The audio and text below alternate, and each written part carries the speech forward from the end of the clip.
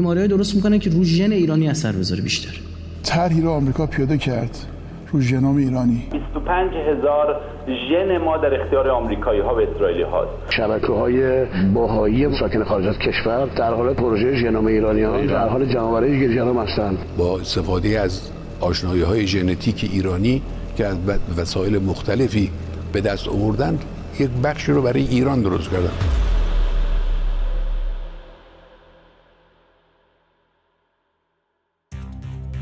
توطعه ژنوم ایرانی عبارتی که سالهاست در محافل هواداران تئوری توطعه در ایران شنیده می شود.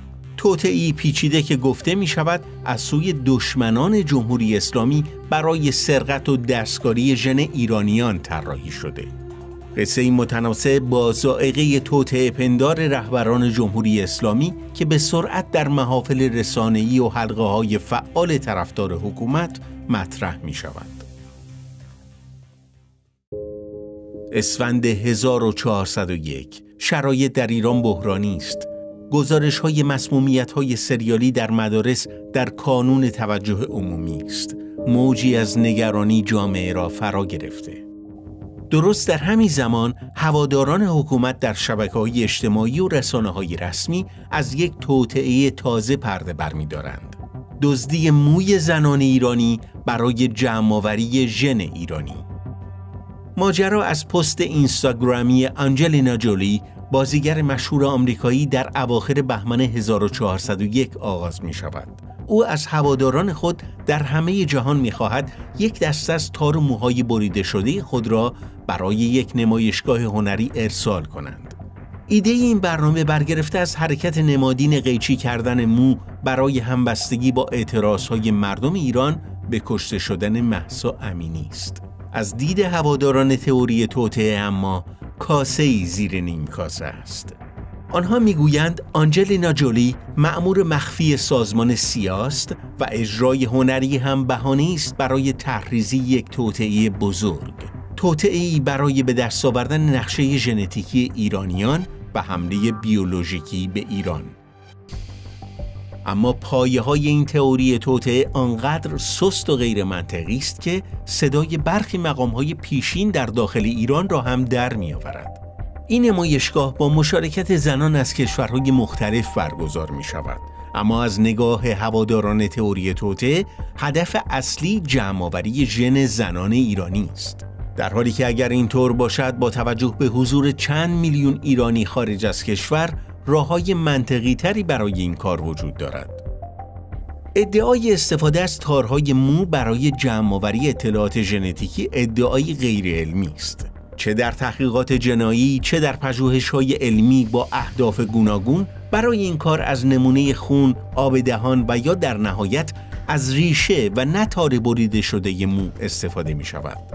البته از نظر تئوری ردگیری دنباله ژنتیکی از طریق بریده مو غیر ممکن نیست اما پیچیده پرهزینه و نیازمند استفاده از فناوری های پیشرفته است.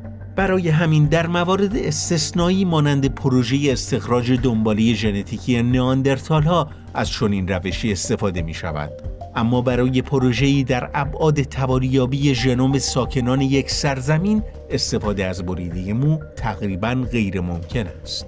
طرحی را آمریکا پیاده کرد رو ژنوم ایرانی در دانشگاه استنفورد. هواداران تئوری توته هدف جمعآوری اطلاعات ژنتیکی را پیدا کردن نقاط ضعف برای حمله بیولوژیکی به مردم ایران می‌دانند.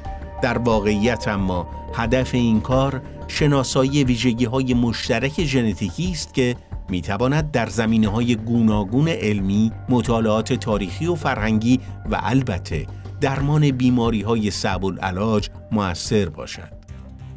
در دو دهه گذشته تحقیقات زیادی درباره ریشه ژنتیکی ساکنان سرزمین ایران در دانشگاه ها و مراکز معتبر پژوهشی در داخل و خارج از کشور انجام شده.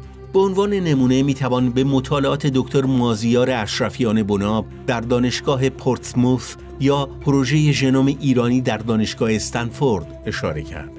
در داخل ایران نیز مراکز علمی و تحقیقاتی مانند پژوهشگاه ملی مهندسی ژنتیک و مرکز توالیابی ژنوم ایران در دانشگاه علوم بهزیستی و توانبخشی در این زمینه فعال بودند. همزمان با پروژه های تحقیقاتی از حدود یک دهه پیش کارزارهایی هم در داخل و خارج از کشور برای تشویق مردم به اهدای مغز استخوان و سلول های بنیادی به راه افتادند. یکی از مشهورترین آنها کارزاری بود که حدود ده سال پیش توسط یک ایرانی مبتلا به سرطان خون به نام شهرزاد ایجاد شد. او سرانجام به دلیل پیدا نشدن گزینه مناسب برای پیوند مغز و استخوان درگذشت. اما کارزار شهرزاد تا چند سال بعد ادامه داشت. این کارزار با حضور چهرهای سرشناسی مانند بهرام رادان و گلشیفته فراهانی در کانون توجه قرار گرفت. با اینکه این کار با هماهنگی دولت ایران و همکاری نهادهای علمی داخل انجام می‌شد اما نظری پردازان توته به داستان طور دیگری نگاه می‌کردند. وقتی این تستا میدیم توی بانک میریم و ما ایرونیا برای اینکه اسممون کمه توی این بانک. کمترین تعداد داریم تو بانک. به لحاظ ژنتیک به همدیگه می‌تونیم احتیاج بیشتری داشته باشیم. از میانه های دهه 90 توته علیه ژن ایرانی به یکی از موضوعات مورد علاقه محافل تئوری توته تبدیل می شود. جاسوسی از مردم و صورت گرفت توسط چهار تا نمی‌دونه چرا چیکار می‌کنه بدبخت بیچاره. اون طرف می‌خواستن داروهایی درست بکنن بیماری درست می‌کنن که رو ژن ایرانی اثر بذاره بیشتر. یکی از میدانداران اصلی تئوری توطعه ژنتیکی علی کرمی است. فردی که خود را پروفسور معرفی می کند. تمام ژنوم ما رو سیکونس کردن. 25 هزار ژن ما در اختیار آمریکایی ها و اسرائیلی هاست. پروتئین های ما در اختیار اونهاست می‌دونید می‌تونن دارو بسازن.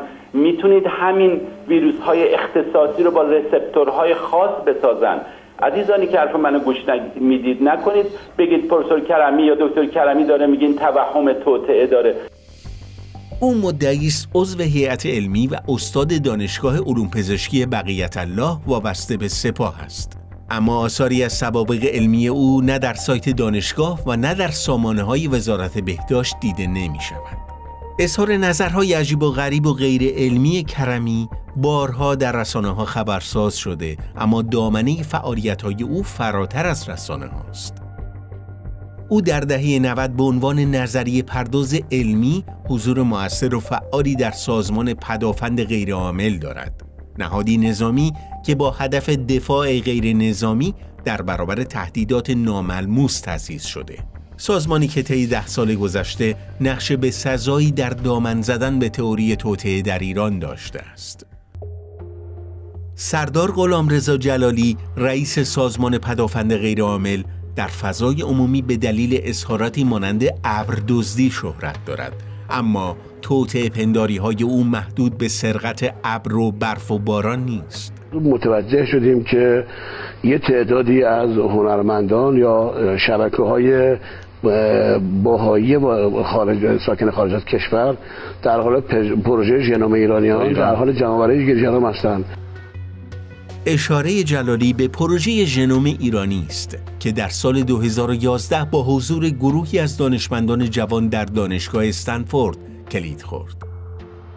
در آن زمان اطلاعات مربوط به تأمین هزینه ها و تحقیقات انجام شده در این پروژه علمی به صورت عمومی در دسترس بود اما هواداران تئوری توته می گفتند این تحقیقات پوششی برای ژندزدی و زمین سازی حمله بیولوژیکی به ایران است. هیچ سند یا حتی دلیل منطقی و قانع کننده برای وجود توطعه ژنتیکی علیه ایران در دست نیست. اما در دنیای تئوری توته هر پدیده مثل کرونا می تواند نشانه از دسیسه دستهای پشت پرده باشد. با همهگیری کرونا در اواخر سال 98 فرصت مناسبی پیش آمد تا این فرضیه بی اساس دوباره سر زبانها بیفتد. کرونا نتیجه توطعه ژنتیکی و ساخته و پرداخته دشمنان ایران است. کار تا آنجا پیش رفت که حتی علی خامنه ای بالاترین مقام جمهوری اسلامی نیز در سخنرانی های خود در این باره صحبت کرد. گفته میشه که یک بخش برای ایران بالخصوص تولید شده است با استفاده از آشنایی های ژنتیک ایرانی که از وسایل مختلفی به دست آوردن یک بخشی رو برای ایران درست کردن در آن زمان ایران یکی از بالاترین آمار ابتلا و مرگ و میر ناشی از کرونا را در دنیا داشت. اما گسترده تر شدن ابعاد همگیری در سراسر جهان نشان داد کرونا جدی تر از آن است که توطئه‌ای علیه ایران و ژن ایرانی داد شود. وقتی همه مردم در چهار گوشه دنیا گرفتار بیماری همگیر می شوند دیگر صحبت از توطعه علیه کشور یک ملت و قوم و یا به قول رهبر جمهوری اسلامی یک ژن خاص بیمعنی است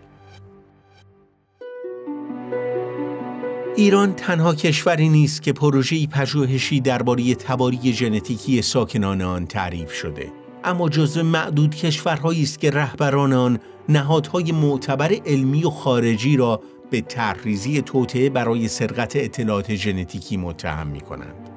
اتهامی که علاوه بر آثار مخرب اجتماعی و سیاسی باعث اختلال در تحقیقات علمی و بروز مشکلات زیادی برای محققان و دانشمندان در داخل و خارج می شود. اگرچه هیچ گزارش معتبری از جمعآوری اطلاعات ژنتیکی برای آسیب رساندن جمعی به ایرانیان در دسترس نیست اما نظریه پردازان توته همچنان سرگرم تولید اخبار جلی برای اثبات این داستان هستند. نظریه پردازانی که تجربه ثابت کرده تصوراتشان در نهادهای ارشد حکومت ایران نیز طرفداران پروپاگرسی دارند.